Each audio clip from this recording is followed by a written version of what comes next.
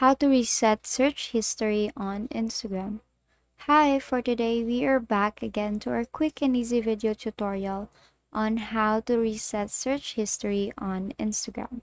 So first is you have to make sure that your Instagram application is updated. So all you have to do is to go to your Play Store and then type in Instagram. Now if you will see an update button, you have to click on that and wait for it to be updated.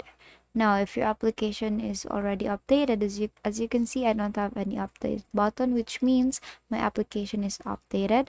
We can now start on our tutorial. So as you can see, I don't have any update button which means my application is already updated so now we can start in our tutorial so what you may want to do is to go to your instagram application and let's just say under it you will see the search icon here the magnifying glass and then just type in gibberish or something. I'm just gonna type anything.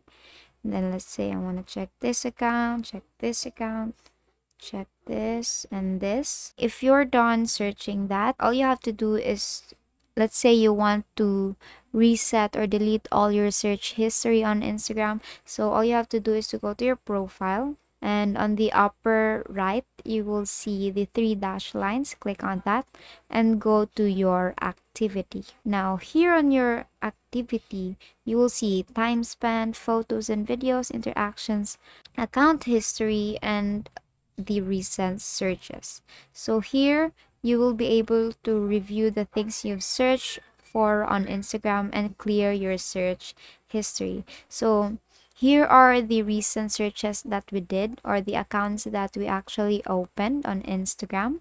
So what you want to do is to click on X and let's say you just want to remove everything.